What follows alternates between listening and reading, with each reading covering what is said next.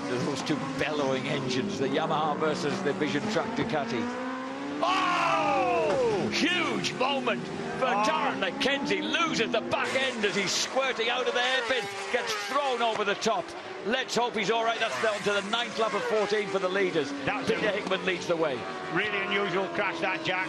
That was, I mean, that's on really on the exit. That was before they ever came to uh, to Barn Corner. That's a weird oh, crash. He's, he's, up and all right. Thank oh. goodness.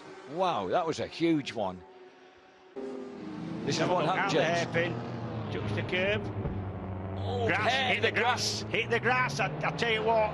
That that one, it was. I didn't see him hit the grass when it happened first time, but I'll tell you that was an unusual crash. That was an odd one. I thought he might have just caught a little bit of sort of damp curb in there that's just left over from the the shower we had this morning, but not so. Touched the grass.